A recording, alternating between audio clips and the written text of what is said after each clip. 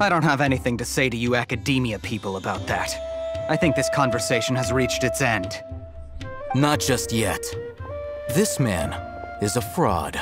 Okay, the man is here. Huh? The man and the legend. You again? Deranged academia lunatic. Yes, it's me again. I already warned you that if you weren't willing to sit and discuss things with me, I'd take measures to make things uncomfortable for you. Listen Oh, to me. he sounds very intimidating. that address he gave you is fake. Or at least, you won't find a merchant waiting for you there. This group has been boasting all around that they can provide information on a certain item as a means of luring people into their territory. Once you show up, they keep up the act until they have hard evidence that you want to purchase said item. Then they use that to squeeze you for all the more you're worth. We are being scammed.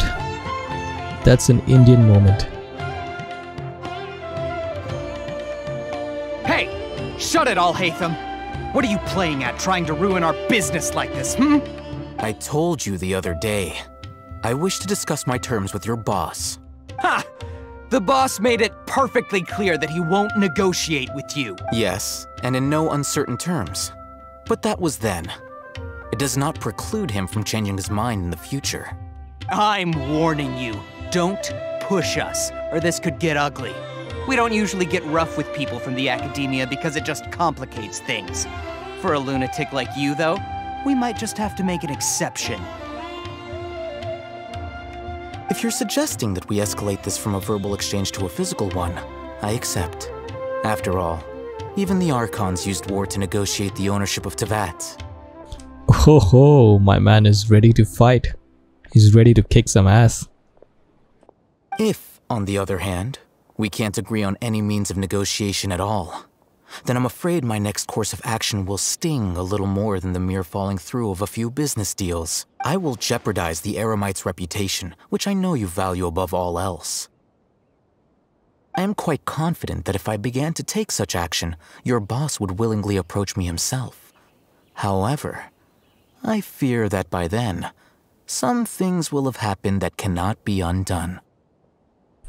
He almost sounds like Aya. You know what he needs? He needs glasses and he needs to keep adjusting them because that kind of suits his personality. Also, a word of advice. I suggest you tell your boss exactly what happened here today. Otherwise, he might blame you for not telling him in the future. What did you say? Consider this. Have I ever failed to follow through on my word in the past? This guy is really out of his mind. Okay then. If you really have a death wish, let's meet a week from today. The pier in front of the Pharos Lighthouse, 4 o'clock in the afternoon, sharp. Don't expect us to hold back.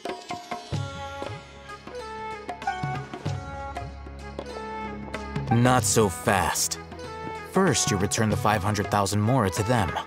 Oh yes, completely forgot to take our Mora. Oi! Give me back my Mora. Please, I beg you, don't provoke them. We can't afford any trouble with this crowd. They haven't even paid for their food yet.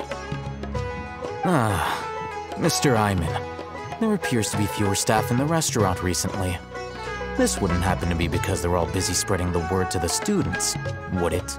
I, uh. Well, someone who chooses to do business with a group like that really can't afford to get so flustered the instant someone confronts them about it. Consider the meal compensation for our silence.